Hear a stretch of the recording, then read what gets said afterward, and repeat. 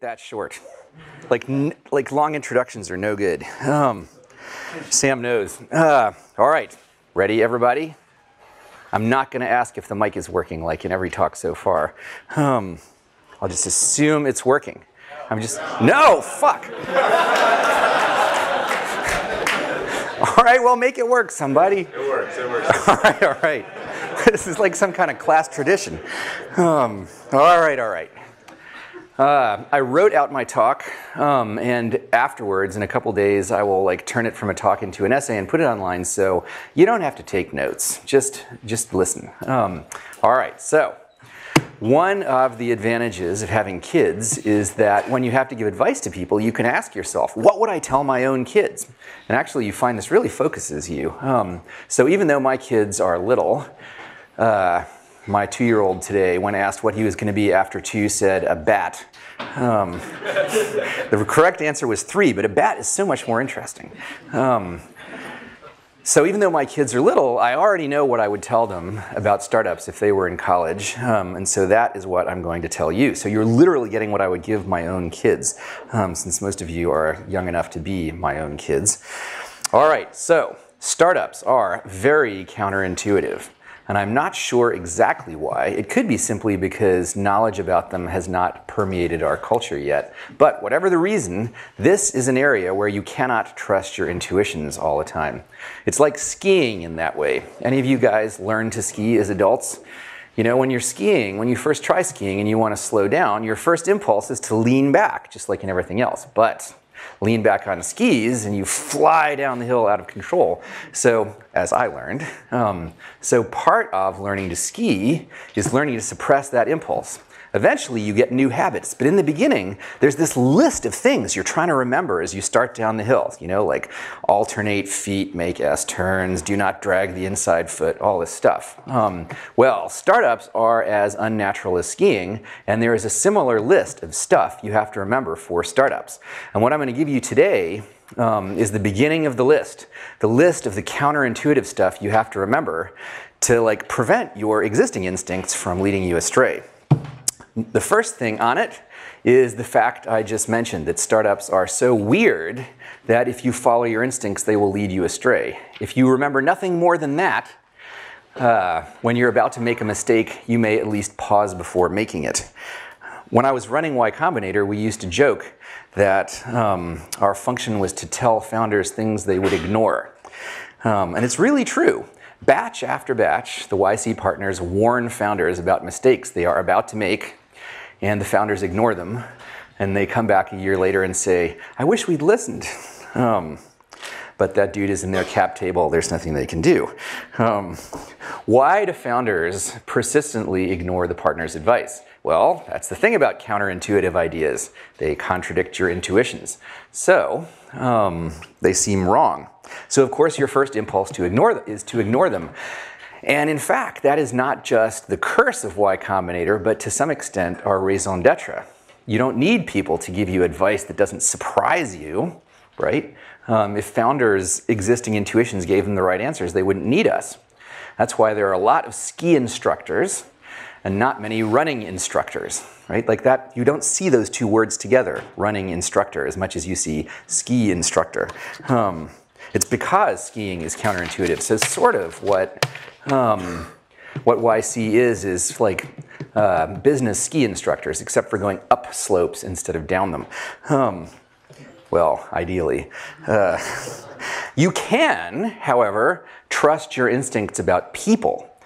You, your life so far hasn't been much like starting a startup, but all the interactions you've had with people are just like the interactions you have with people in the business world. So, in fact, one of the big mistakes that founders make is not to trust their intuitions about people enough. They meet someone who seems impressive, but about whom they feel some misgivings. Um, and then later, when things blow up, they tell them, they say, you know, I knew there was something wrong about that guy, but I ignored it because he seemed so impressive. Um, and there's a specific sub case in business, especially if you come from an engineering background, as I believe you all do. You think business is supposed to be this sort of slightly distasteful thing. And so when you meet people who seem smart but somehow distasteful, you think, well, okay, this must be normal for business. But it's not. just like pick people the way you would pick people if you were um, picking friends. Um, this is one of those rare cases where it works to be self indulgent. Work with people you genuinely like and respect and that you have known long enough to be sure. Because there's a lot of people who are really good at seeming likable for a while. Um, just wait till your interests are opposed and then you'll see. All right. Um, the second counterintuitive point is that, uh, and this will, might come as a little bit of a disappointment, um, but what you need to succeed in a startup is not expertise in startups. That makes this class different from most other classes you take. If you take a French class, at the end of it, you will learn how to speak French if you do the work. You may not sound exactly like a French person, but pretty close, right? Um, this class can teach you about startups, but that is not what you need to know. What you need to know to succeed in a startup is not expertise in startups. What you need is expertise in your own users. Mark Zuckerberg did not succeed in Facebook because he was an expert in startups. He succeeded despite being a complete noob at startups. I mean, Facebook was first incorporated as a Florida LLC. Right? Even you guys know better than that. Um, he succeeded despite being a complete noob at startups because he understood his users very well. Most of you don't know the mechanics of raising an angel round, right? Um, and if you feel bad about that, don't, because I can tell you Mark Zuckerberg probably doesn't know the mechanics of raising an angel round either. If he was even paying attention when Ron Conway wrote him the big check, um, he has probably forgotten about it by now. In fact, I worry it's not merely unnecessary for people to learn in detail about the mechanics of starting a startup, but possibly somewhat dangerous. Because another of the characteristic mistakes of young founders starting startups is to go through the motions of starting a startup. They come up with some plausible sounding idea. Um, they raise funding at a nice valuation. They rent a nice office in Soma, hire a bunch of their friends. And then the next step after uh, rent a nice office in Soma and hire a bunch of their friends is gradually realize how completely fucked they are because while imitating all the outward forms of starting a startup, they have neglected the one thing that's actually essential, which is to make something people want. By the way, that's the only use of that swear word except for the initial one that was involuntary. Um, and I did check with Sam whether it would be okay. Um, he said he had done it several times. I mean, use the word. Uh,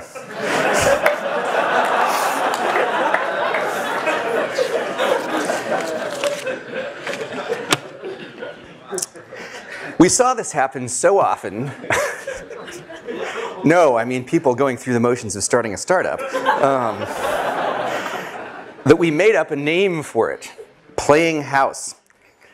Eventually, I realized why it was happening. The reason young founders go through the motions of starting a startup is because that is what they have been trained to do for their whole lives up to this point. Think about what it takes to get into college. Extracurricular activities. Check. Right? Um, even in college classes, most of the work you do is as artificial as running laps.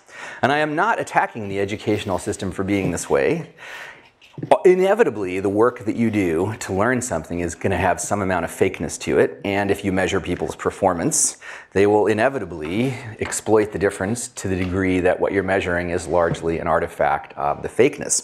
And i confess that i did this myself in college. In fact here's a useful tip on getting good grades. Um, I found that in a lot of classes, there might only be 20 or 30 ideas that actually had the right shape to make good exam questions. And so the way I studied for exams in these classes was not to master the material in the class, but to try and figure out what the exam questions would be and work out the answers in advance. And like, for me, the test was not like what my answers would be on the exam. For me, the test was which of my exam questions would turn up on the exam, right? So I would, I would get my grade instantly. I would walk into the exam and look at the questions and see how many I got right, essentially. Um, it works in a lot of classes, especially CS classes. I remember automata theory. There's only a few things that make sense to ask about automata theory. Um, So, it's not surprising that after being effectively trained for their whole lives to play such games, young founders' first impulse on starting a startup is to figure out what the tricks are for this new game. What are the extracurricular activities of startups? What are the things I have to do?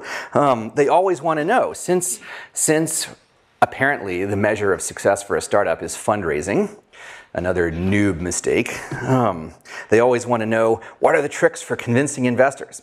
And we have to tell them the best way to convince investors is to start a startup that's actually doing well, meaning growing fast, and then simply tell investors so. Um, so then they ask, okay, what are the tricks for growing fast, right?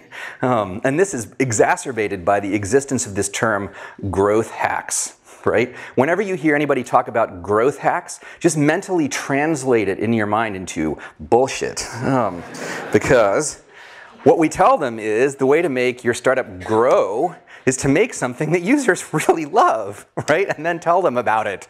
Uh, so that's what you have to do. That's growth hacks right there. Um, so, so many of the conversations the YC partners have with the founders begin with the founders saying a sentence that begins with, How do I? and the partners answering with a sentence that begins with, Just right? Why do they make things so complicated? The reason I realized after years of being puzzled by this is they're looking for the trick. They've been trained to look for the trick. So, this is the third thing, the third counterintuitive thing to remember about startups. Starting a startup is where gaming the system stops working. Gaming the system may continue to work if you go to work for a big company. Depending on how broken the company is, you may be able to succeed by sucking up to the right person, um, giving the impression of productivity by sending emails late at night, um, or if you're smart enough, changing the clock on your computer, because um, who's going to check the headers, right?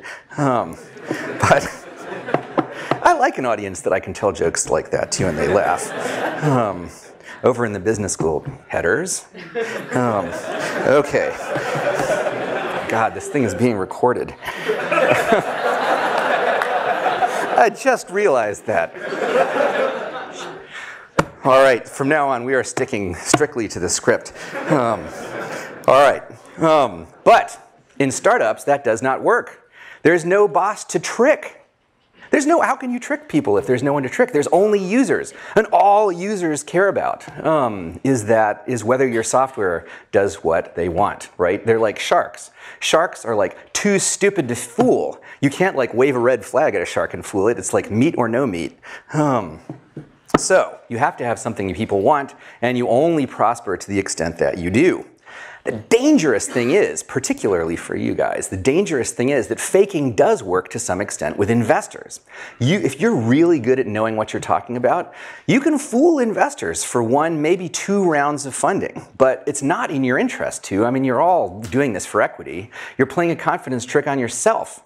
You're wasting your own time because the startup is doomed, and all you're doing is you're just going to waste your time writing it down. Um, so stop looking for the trick. There are tricks in startups, as there are in any domain, but they are an order of magnitude less important than solving the real problem. Someone who knows zero about fundraising but has made something users really love will have an easier time raising money than someone who knows every trick in the book but has a flat usage graph. Um, Though, in a sense, it's bad news that gaming the startup stops work, gaming the system stops working now, um, in the sense that you're deprived of one of your most powerful weapons, and after all, something you have spent 20 years mastering. Um, it is something I find it very exciting uh, that, that, that, that that there even exist parts of the world where gaming the system is not how you win. I would have been really excited in college if I had explicitly realized that there are parts of the world where gaming the system matters less than others, and some where it hardly matters at all. But there are, and this is one of the most important things to think about when you're planning your future. Um, got that? Okay. Um, how, do you win at each type of the work, and what do you want to win by doing? So, um, that brings us to our fourth counterintuitive point. Startups are all consuming. If you start a startup, it will take over your life to a degree that you cannot imagine.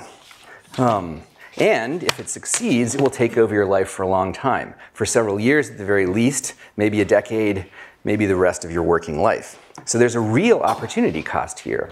It may seem to you that Larry Page has an enviable life, but there are parts of it that are definitely unenviable. The way the world looks to him is that he started running as fast as he could at age 25, and he has not stopped to catch his breath since. Every day, shit happens within the Google empire that only the emperor can deal with, and he, as the emperor, has to deal with it. If he goes on vacation for even a week, a whole backlog of shit accumulates. And he has to bear this uncomplainingly because, number one, as the company's daddy, he can never show fear or weakness. And number two, if you're a billionaire, you get zero, actually less than zero sympathy if you complain about having a difficult life. Which has this strange side effect that the difficulty of being a successful startup founder is concealed from almost everyone who's done it people who win the 100 meters in the Olympics, like they walk up to them and they're going like, right? Like Larry Page is doing that too, but you never get to see it. Um, all right, where are we? Y Combinator has now funded several companies that could be called big successes. Um, and in every single case, the founders say the same thing. It never gets any easier. The nature of the problems change, so you may be you may be worrying about more glamorous problems like construction delays in your new London offices rather than the broken air conditioner in your studio apartment. But the total volume of worry never decreases. If anything, it increases. Starting a successful startup is similar to having kids in that it's like a button you press that changes your life irrevocably. Um, and while it is like honestly the best thing in the world, having kids. Um, if you take away one thing from this lecture, remember that. Um, uh, there are a lot of things that are easier to do after you, before you have kids than after. Many of which will make you a better parent when you do have kids. And so, in rich countries, most people delay pushing the button for a while. And I'm sure you are all intimately familiar with that um, procedure. Um, Yet, when it comes to starting startups, a lot of people seem to think they're supposed to start them in college. Are you crazy? And what are the universities thinking? They go out of their way to ensure that their students are well supplied with contraceptives, and yet they're starting up entrepreneurship programs and startup incubators left and right. to be fair, the universities have their hand forced here. A lot of incoming students are interested in startups. Universities are at least de facto supposed to prepare you for your career. And so if you're interested in startups, it seems like universities are supposed to teach you about startups. And if they don't, maybe they lose applicants to universities who do claim to do that. So, can universities teach you about startups? Well, not. What are we doing here? Um, yes and no. As I explained, they can teach you about startups, but this is not what you need to know essentially, what universe, if you want to learn French, universities can teach you linguistics. That's what this is. This is a linguistics class, right? We're teaching you about how to learn languages, and what you need to know is like how to learn a particular language. Um, what you need to know are the needs of your own users. You can't learn those until you actually start the company. Um, and starting a company, which means that starting a startup is something you can intrinsically only learn by doing it. And you can't do that in college for the reason I just explained that startups take over your entire life. If you start a startup in college, if you start up a startup as a student, you can't start a startup as a student because if you start a startup, you're not a student anymore. You may be nominally a student, but you won't even be that for much longer. So, given this dichotomy, which of the two paths should you take? Be a real student and not start a startup, or start a real startup and not be a student? Well, I can answer that one for you. I'm talking to my own kids here. um, do not start a startup in college.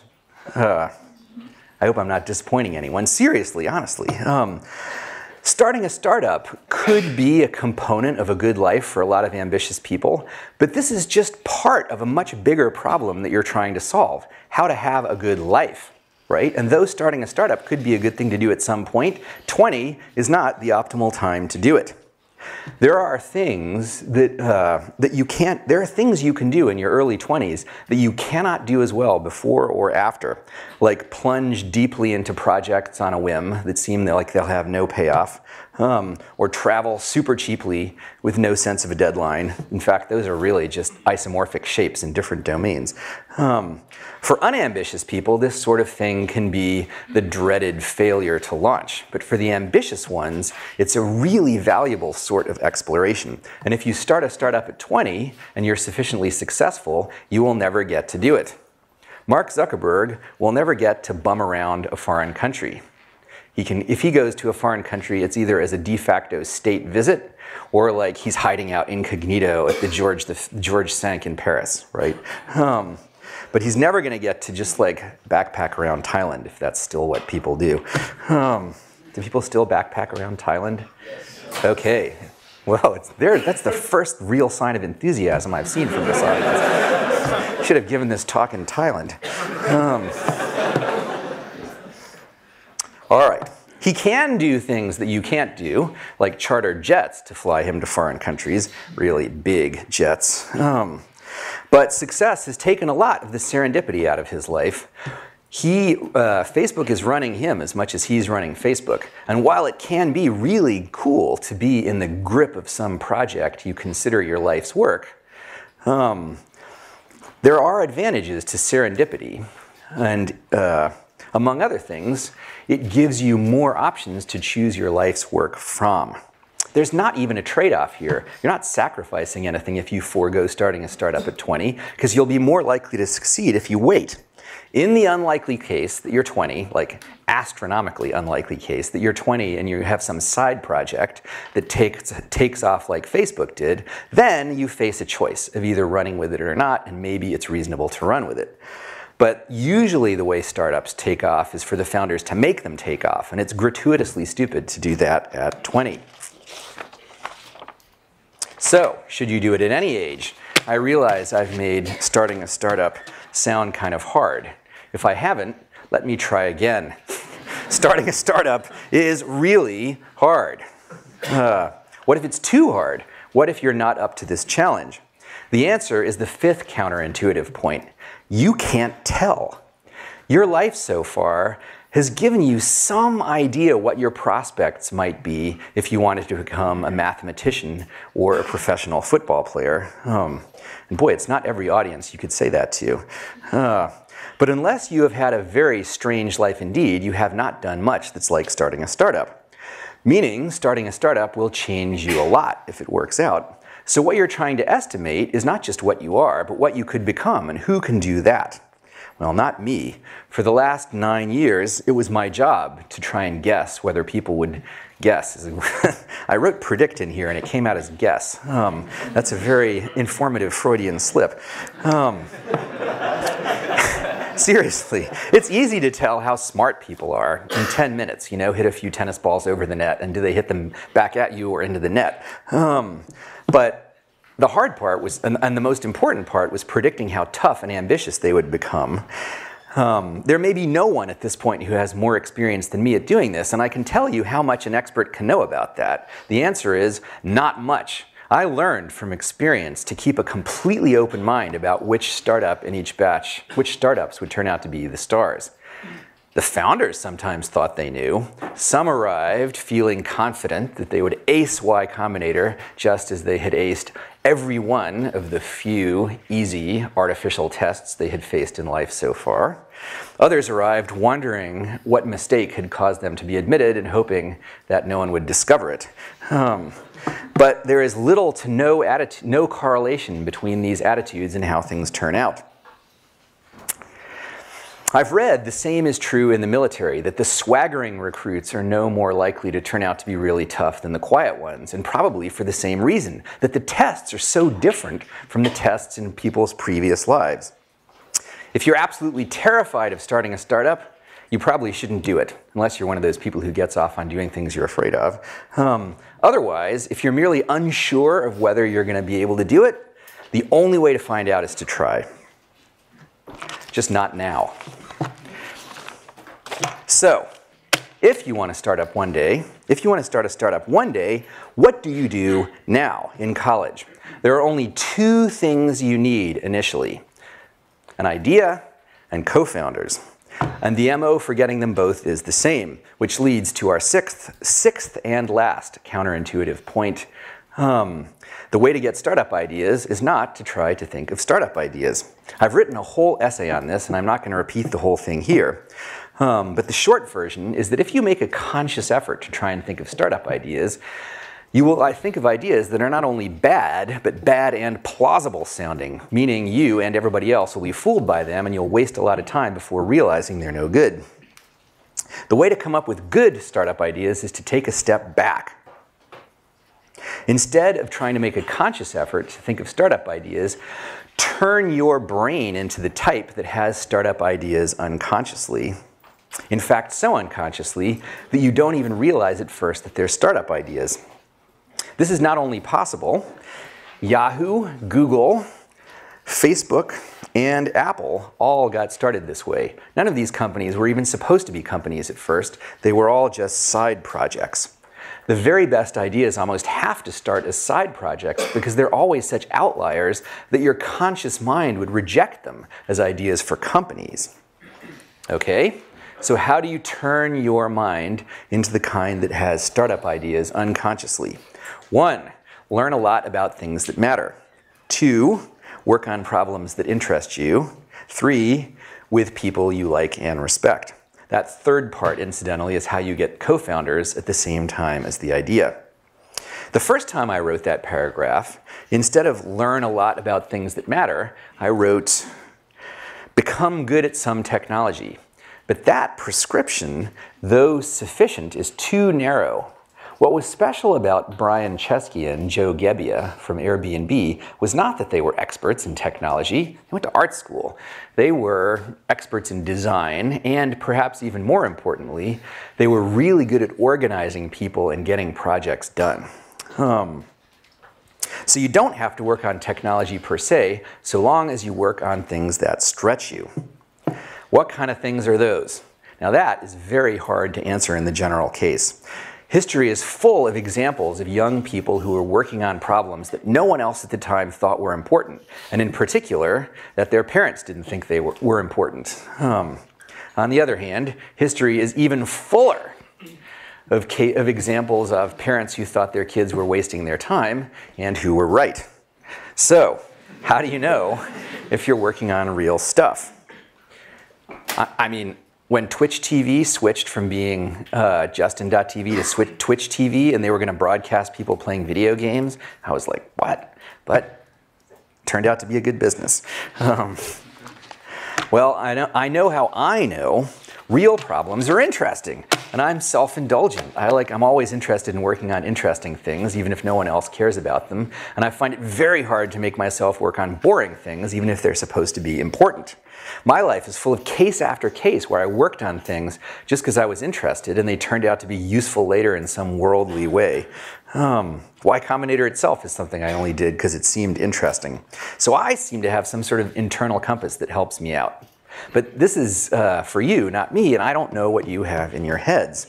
Maybe if I think more about it, I could come up with some heuristics for recognizing genuinely interesting ideas. But for now, all I can give you is the hopelessly question begging advice. Um, incidentally, this is the actual meaning of the phrase begging the question. The hopelessly question begging advice that if you're interested in genuinely interesting problems, gratifying your interest energetically is the best way to prepare yourself for a startup. And for that matter, probably the best way to live.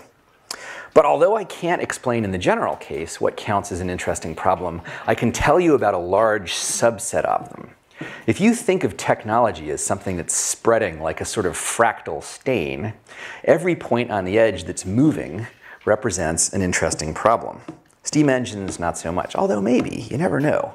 Um, so one guaranteed way to turn your mind into the type that startup ideas form in unconsciously is to get yourself to the leading edge of some technology, to, to as Paul Buchheit put it, um, live in the future.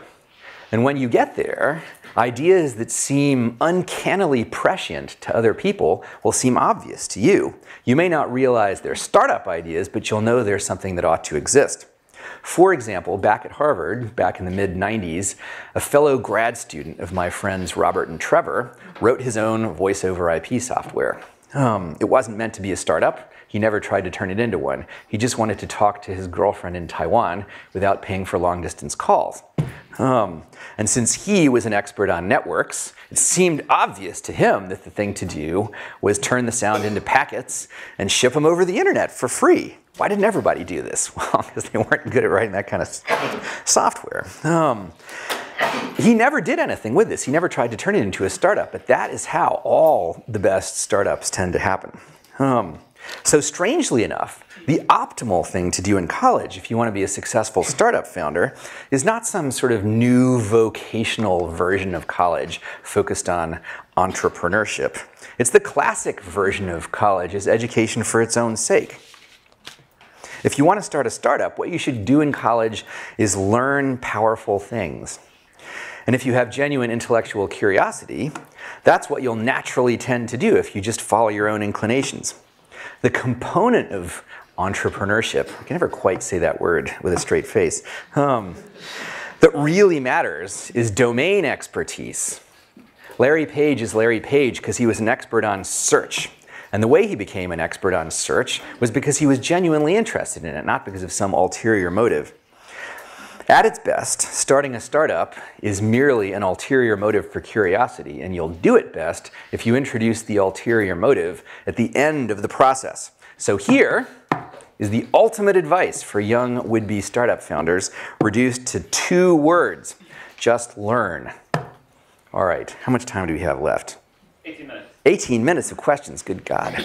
Um, do you guys have the questions? Uh, sure, we'll start with uh, two questions online, or we can st- start with audience Q&A. You guys are in charge, whatever you want to do. Uh, okay, um, so to start with online questions, uh, the most voted question today was... Do I have to repeat them, by the way? Yeah. Okay. How can a non-technical founder most effectively contribute to a startup? How can a non-technical founder most effectively contribute to a startup? Um, well, if the startup is if the startup is working in some domain, um, if it's not a pure technology startup, but is working in some very specific domain, um, like if it's Uber, right, and, and, then, and the non-technical founder was an expert in the limo business, then actually the non-technical founder are probably doing most of the work recruiting drivers and doing whatever else Uber has to do, right? And the technical founder would be just writing the iPhone app, which is probably less, well, iPhone and Android app, um, which is less than half of it. Um, if it's a purely technology startup, the, the non-technical founder does sales and brings coffee and cheeseburgers to the programmer. Um, okay, next. Oh, audience. Okay, audience. Yes. Do you see um, any value in business school for people who want to pursue entrepreneur, entrepreneurship? Do I see any value Or in? if so, what value, I guess? I'm hoping Well, we probably won't have to get to the second question, um, which I suppose is the answer to your first question. Um, okay, so the question is: Is there any value in business school if you're interested in entrepreneurship, and if so, what? Um, so. Basically, no. I mean, it sounds undiplomatic, but the, the point, biz, what business school was designed for is to teach people management, right? And management is a problem that you only have in a startup if you're sufficiently successful. Um, so really, what you need to what you need to know early on to make a startup successful is developing products. You'd be better off going to design school um, if you want to go to some sort of school. Although, frankly, the way to learn how to do it is just to do it. You know, one of the things I got wrong early on uh, uh, is that I advised people who were interested in starting a startup to go work for some other company for a few years before starting their own. But honestly, the best way to learn how to start a startup is just to try and start it. You may not be successful, but you'll learn faster if you just do it. So, not really. Um, business schools are trying really hard to do this, but honestly, like they were they were designed to train the officer corps of large companies, right? Which is what business seemed to be back when it was a choice of either the officer corps of large companies or Joe's shoe store. And the, the, then, then there was this new thing, Apple, which started out as small as Joe's shoe store and then like turns into this giant mega company. um, but they weren't designed for that world. And like, let they're good at what they're good at. They should just be do that and screw this whole entrepreneurship thing just because it's cool. Yes. You said uh, management is a problem that you have only when you're successful. Yeah. So what about those first two or three people as a founder that you're trying to manage? Okay, so management is a problem only if you're successful. What about those first two or three people? Well, ideally, you're successful before you even hire two or three people, right? Um, didn't, didn't you say, Sam, that Airbnb took five months to hire their first employee? Um, so ideally, you don't have even two or three people for quite a while. Uh, when you do, you can, you can sort of the, the first hires in a startup are almost like founders. They should be motivated by the same things. They can't be people. They can't be people you have to like manage, right? Um, this is like that. This is not like The Office or something like that. These are your. These have to be your peers, really. Um, you shouldn't have to manage them much. So is it just a big no-no? Like if someone has to be managed, no way that they can be on the founding team. Uh, well, never say never. Uh, the, I should repeat all these questions. So, if someone has to manage, no way they should be on the founding team. Um, in the case where you're doing something where you need some sort of super advanced technical thing, and there's some boffin, um, if you know that word, who knows this thing and nothing else in the world, including like how to wipe his mouth, um, then it may be to your advantage to hire said boffin and wipe his mouth for him. Um, but uh, as a general rule, you want people who are um, sort of self motivated early on. They should be just like founders. Yes, questions? In the far back. Do you think we're currently in a bubble? Do I think we're currently in a bubble? Um, okay, so I'll give you two answers to this question. Uh, uh, one, ask me questions that are useful to this audience, because these people are here to learn how to start startups, and I have in my head like more data about that than anybody else. And you're asking me the kind of questions a reporter does, because they can't think of anything interesting to ask. Um, but I will answer your question. Um, there is a difference between prices merely being high and a bubble. A bubble is a very specific form of prices being high, where people knowingly pay high prices for something in the hope that they will be able to unload it later on some greater fool, right? And that's what happened in the late 90s. Like, in VCs knowingly invested in bullshit startups, thinking that they would be able to take those things public and unload them on the retail investors before everything blew up. And I was there. I was there for that um, at the epicenter of it all.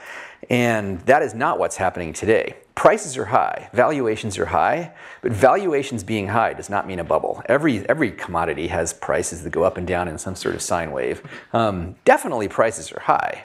Uh, and so we tell people if you raise money, don't think the next time you raise money it's going to be so easy. Who knows? Maybe between now and then the Chinese economy will have exploded and there's another giant disastrous recession. Who knows? Assume the worst.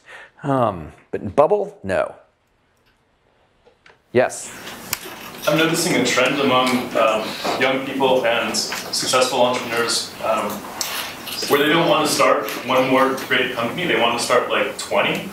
And so you're starting to see the rise of these labs attempts where they're going to try to launch a bunch of stuff. I, I don't know of a really stellar example yet, but do you, You mean see- like, like IDEO? like no, like like build like Idealab, like uh, Garrett Camp's new one. There's North. Yeah. Oh, yeah, yeah. Okay, so there's this new thing where people start labs that are supposed to spin off startups. Um, it might work. That's how Twitter started. In fact, it, I meant Idealab, not IDEO. That was another Freudian slip. Um, because Twitter was not Twitter at first. Twitter was this side project side project at a company called Odeo that was supposed to be in the podcasting business. And you're like, podcasting business? Do those words even grammatically fit together? Um, the answer turned out to be no, as Evan discovered. Um, but like as a side project, they spun off Twitter, and boy, was that a, a dog wagging tail. Um, so people are starting these things that are supposed to spin off startups. Will it work? Quite possibly. Quite possibly if the right people do it. Um, you can't do it yet, though, because you have to do it with your own money. Um, yes, far back. Hi, thanks so much. Um, I hate to step into sort of a gendered pitfall, but what advice do you have for female co-founders as they're pursuing funding? Female co founders when you're pursuing funding. Well, it probably is true that women have a harder time raising money, right? Um, I've noticed this empirically, and um, Jessica is just about to publish a bunch of interviews with female founders, and a lot of them said that they thought they had had a hard time, a harder time raising money too. Um, so, what I would, you remember I said like the way to raise money? make your startup actually do well? Well, that's just especially true in that case. If you have any, if you if you miss the ideal target from the VC's point of view in any respect, the way to solve that problem is make the startup do really well. Um, so in fact, there was a point like a year or two ago when I tweeted this growth graph of this company, and I didn't say who they were. Um, but I knew it would start people asking. And it was actually a female founded startup that was having trouble raising money, but their growth graph was stupendous. And so I tweeted it, knowing that like all these VCs would start asking me, who, who is that, right? And like growth graphs have no gender, right? So if they see the growth graph first, let them fall in love with that, right? Um, so do well, which is good advice for startups generally. Yes. What would you learn in college right now? What what? What would you learn in college right now? What would I learn in college? Hmm. Hmm. Literary theory? No, just kidding. Um, let's see. Um, well, you know, honestly, I think I might try and study physics. I feel that's the thing I feel like I missed. For some reason, like I was all excited. Com- when I was a kid, computers were the thing. Maybe they still are, right? So I sort of got very excited about writing code. Um, and you could do things with you could do you could write real programs in your bedroom. You can't like build real linear accelerators. So maybe you can.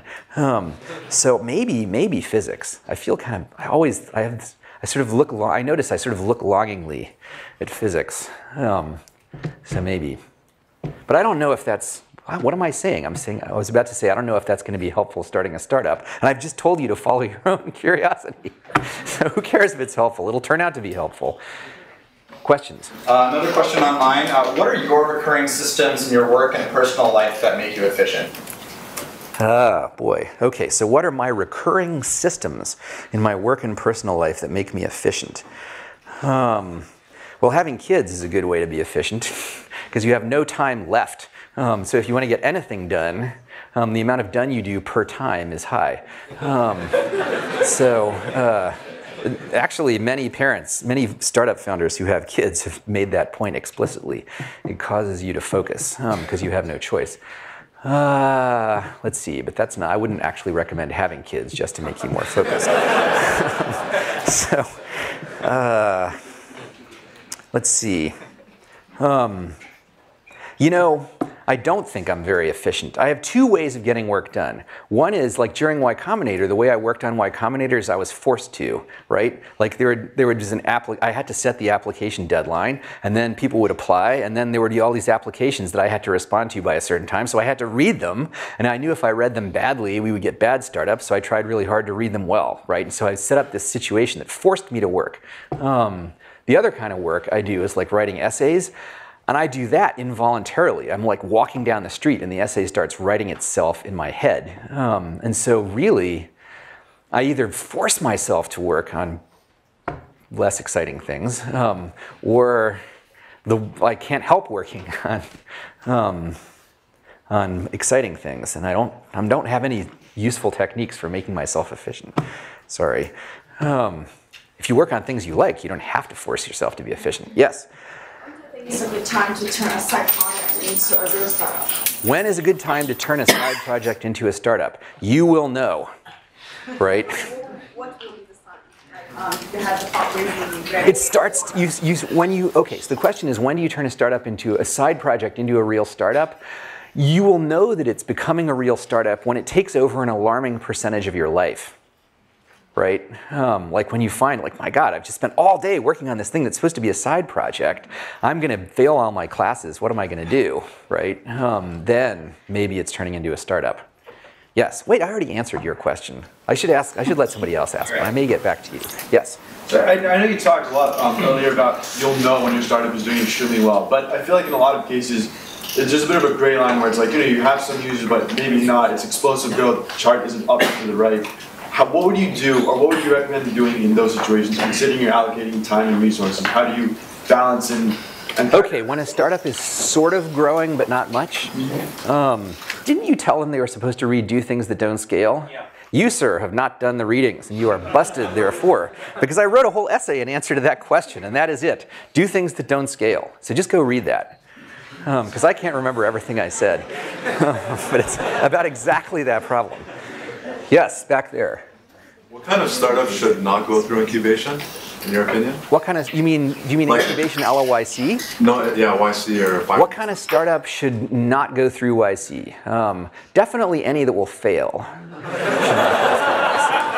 um, and or if you'll succeed but you're an intolerable intolerable person, um, that also Sam would probably sooner do without. Um, short of that, I, I cannot think of any because a large percentage, founders are often surprised by how large a percentage of the problems that startups have are the same, regardless of what type of thing they're working on. And those tend to be the kind of problems that YC helps with the most, not the ones that are domain specific. So I can't, is there, do you, can you think of a class of startups that YC wouldn't work for? I can't. I mean, we had like fission and fusion startups in the last batch, or that they had. Um, yes. Um, you mentioned that it's good advice to learn a lot about something that matters. Yeah. What are some good strategies to figure out what matters? Well, if you think of, okay, so how do you figure out what matters? Um, if you think of technology as something that's spreading as a sort of fractal stain, anything on the edge represents an interesting idea. Sounds familiar. Um, so, how do you figure out? Um, like I said, that was the problem. You have correctly identified um, the thing where I didn't really answer the question, where I gave this question begging answer. I said like that I just like I'm interested in interesting things. If you're interested in interesting things, work on them, and things will all work out, right? Um, but how do you tell what is a real problem? I don't know. That's like important enough to write a whole essay about, and I don't know the answer. I probably should write something about that, but I don't know. I don't know. Um, I figured out a technique for detecting whether you have a taste for genuinely interesting problems, um, which is whether you find working on boring things intolerable, right? And there are known boring things, like literary theory and working in middle management in some large company. So if you could tolerate those things, then you must not, you must either have stupendous self-discipline or um, you don't have a taste for genuinely interesting problems. Um, and vice versa. Yes? One more question. Okay, one more question. It better be good. I was just wondering how you know, like Snapchat like makes money or plans to do so in the future. Snapchat? What do I know about Snapchat? we didn't fund them. Can I how about another question? All right, go ahead. So you're talking about hiring people that you like, um, but it seems like that could lead to a monoculture. And there are a lot of benefits of a monoculture, but how do you deal with the blind spots that arise? Okay, so if you hire people you like, you might get a monoculture. And how do you deal with the blind spots that arise? Um, starting a startup is something where many things will be going wrong. You can't expect it to be perfect. And the advantages of, of hiring people that you know and like are far greater than the, you know, the small disadvantage of, disadvantages of having some monoculture. You look at it empirically, all the most successful startups, someone just like hires all their pals out of college. All right, you guys, thank you.